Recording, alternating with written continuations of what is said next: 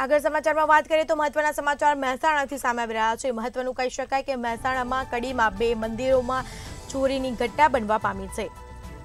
મહત્વનું કહી શકાય કે ઉમિયા માતાજીના મંદિર અને તેજનેશ્વર મહાદેવના મંદિરમાં ચોરી થઈ છે. મંદિરમાં માતાના છત્તર સહિત ઘરેણાની પણ તસ્કરો દ્વારા ચોરી કરવામાં આવી છે.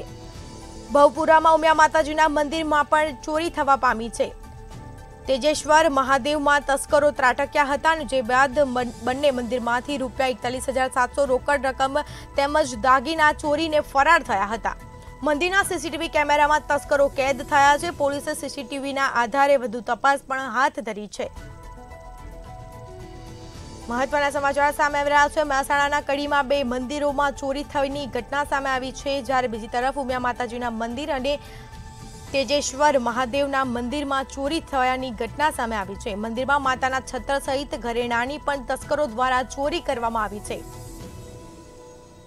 બંને મંદિરમાંથી રૂપિયા એકતાલીસ હજાર સાતસો રોકડ રકમ તેમજ દાગીનાની ચોરી થઈને તસ્કરો ફરાર થયા છે. પરંતુ મંદિરના સીસીટીવી કેમેરામાં તસ્કરો કેદ થતાં જ પોલીસે સીસીટીવી આધારે તપાસ પણ હાથ ધરી છે.